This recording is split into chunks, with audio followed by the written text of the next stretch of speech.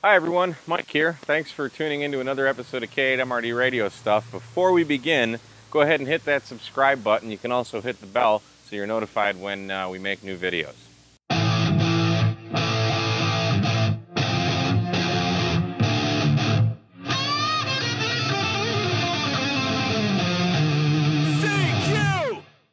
So today, uh, I'm going to be putting up a new antenna. On Friday, a ginormous storm came through my neighborhood and knocked down a few trees in my yard, and with it, knocked down the fan dipole that I have since put back up. But, well, it's just not tuned so well anymore, and rather than uh, reconfiguring everything, I decided to put up this, uh, which MFJ sent me a few months ago after Hamvention. This is the MFJ 2012 off-center fed dipole. This is for 40, 20, 10 meters, and 6 meters, uh, and it's rated for 1500 watts. So I will not come close to that because I'm only running 100. So we're going to put this up and check out the SWR, see if we can hear anybody. Uh, I'm not one to say that the bands are dead, but boy, they sure haven't been great lately. But uh, we'll see what happens, so stay tuned. So the first thing I got to do is take down the fan dipole which is really easy.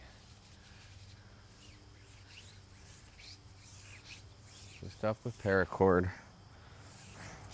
Just a simple dipole I made with a, this is an MFJ one-to-one Balun, and there she goes. I've been using this thing for a couple years now, well, ever since I became a general. This is the first, first antenna I made, and it's been working fantastic, but it's time to change it.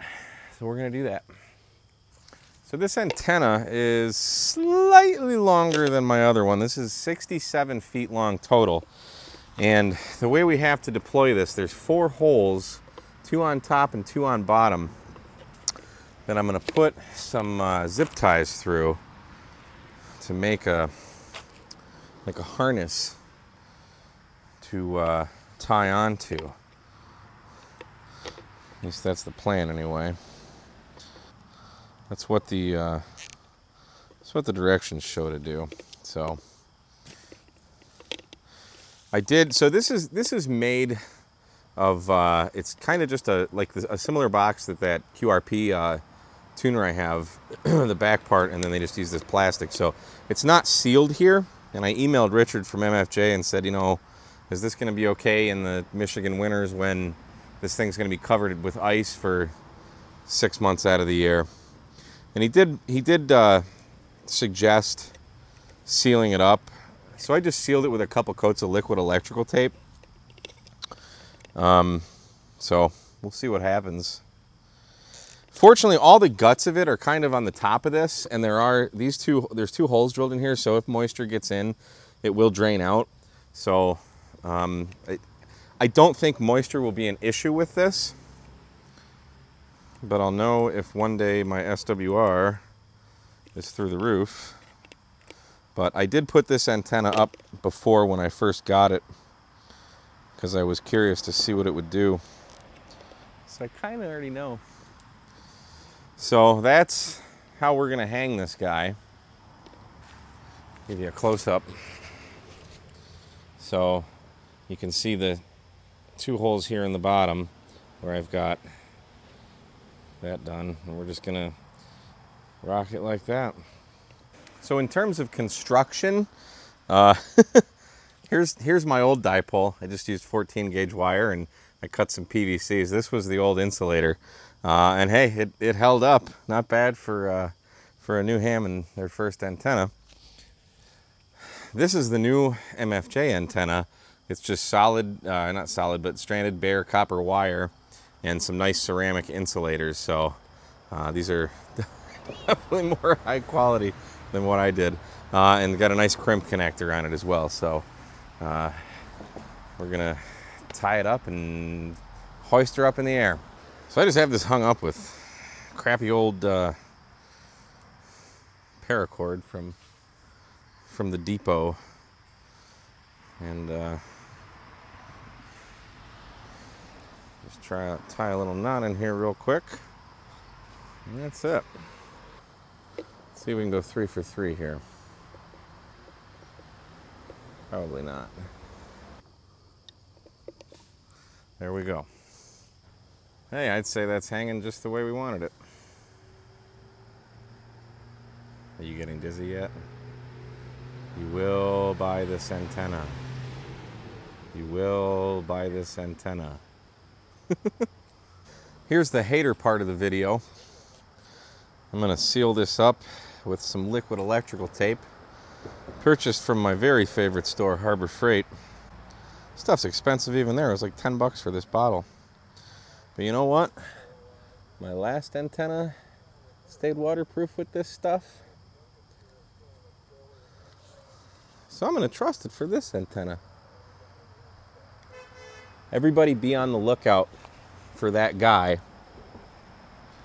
who's going to say, oh, you can't use liquid electrical tape. You got to use the self amalgamating stuff and you got to hermetically seal it and wrap it in a condom and double wrap it. Hell, nah, fooey on you. So there, I commented for you. Usually, I just gob this stuff on, get it on nice and thick. Yeah. Spread some in your ass cheeks. Yeah. Comment if you get that reference. It's time to go up. Here we go.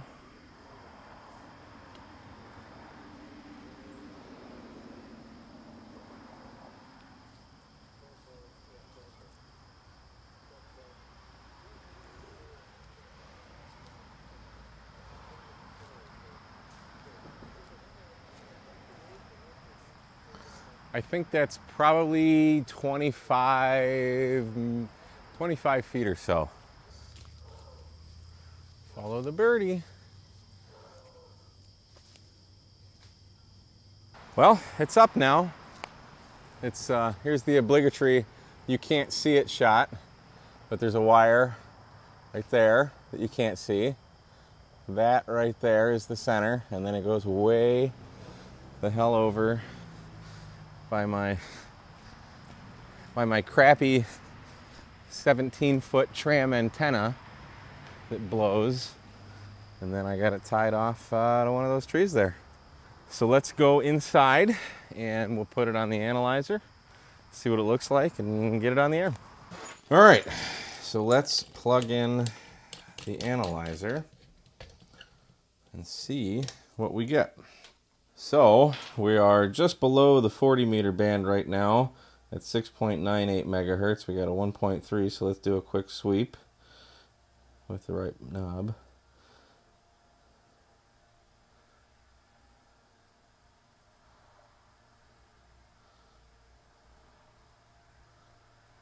Let's take a look at 20.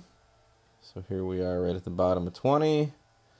Impedance is good, resistance is good.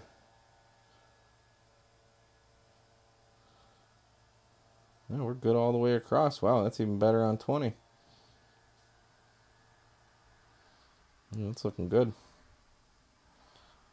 And then 10 meters. I think it starts off high on 10 meters. Okay, maybe it starts off low and then goes up. I really have no idea what the uh, frequency width for 10 meters is, but I know it's pretty big and this is looking pretty good. So that's pretty good. So 50, where are you?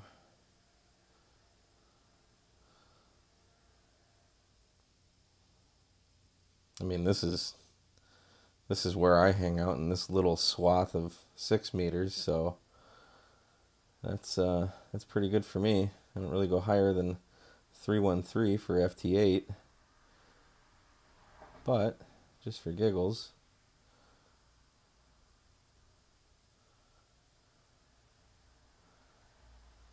yeah, 2.2 at the high end and 1. Point, uh, where was the low end? 1.3, no. So it's actually resonant below the band. So it might be a little long, but that is definitely, definitely usable without a tuner. So everything we've done would be all for naught if it didn't actually work. So let's see what our radio thinks of it. We've got our meter set to SWR and our power is at 95%, which on a 100 watt radio is 95 watts. So we're a little over 1.5 to 1 there at the bottom of the band. Let's go up a little bit, make sure there's no one around us. A little bit higher.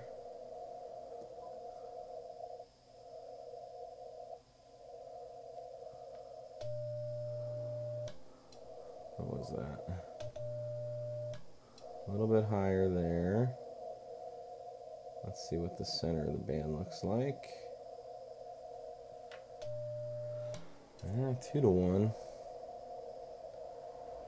Let's go up to where I used to have to stay.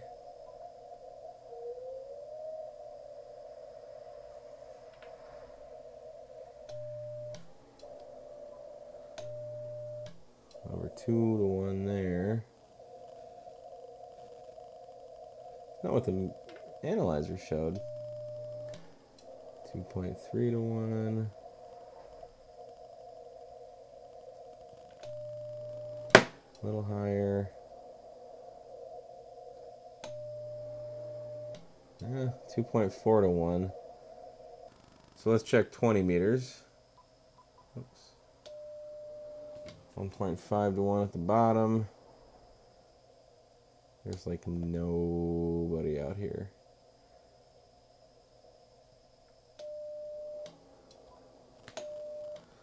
Climbing.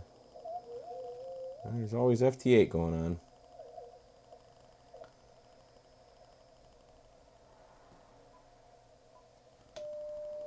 A little bit higher. I think uh, 20 showed a little better on the analyzer too. Climbing.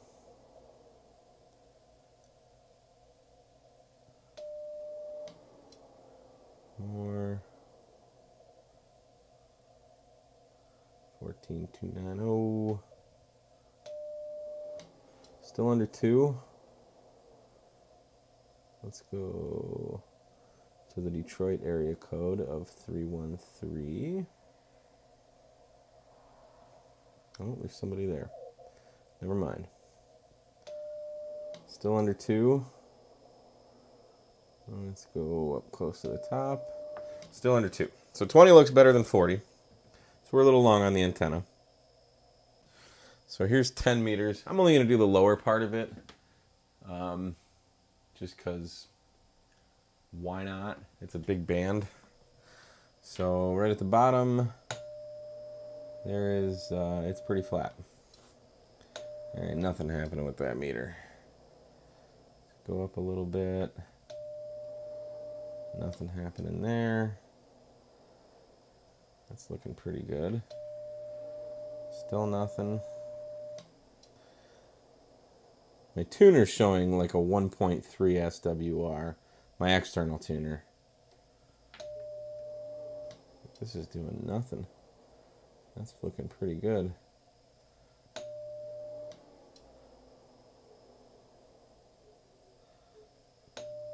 Yeah, there's something. So you've got a pretty big, so 28.5, that's, that's where the technicians get to play. That's the top of their band. So very respectable, probably 1.2 to 1. So here's six meters. I'm going to do the same thing. I, I don't, I'm, I'm pretty much down within the first 300 or so kilocycles on uh, six meters. So here's uh, the very bottom, a little under 1.5.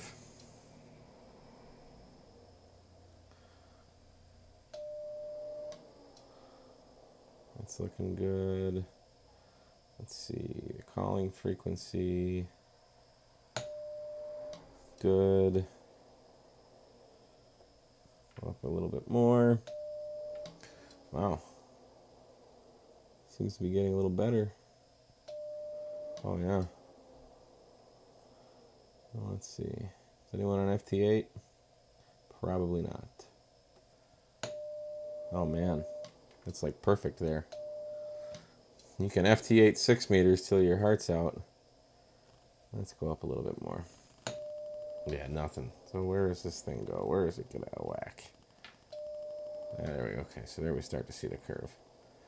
But pretty big bandwidth.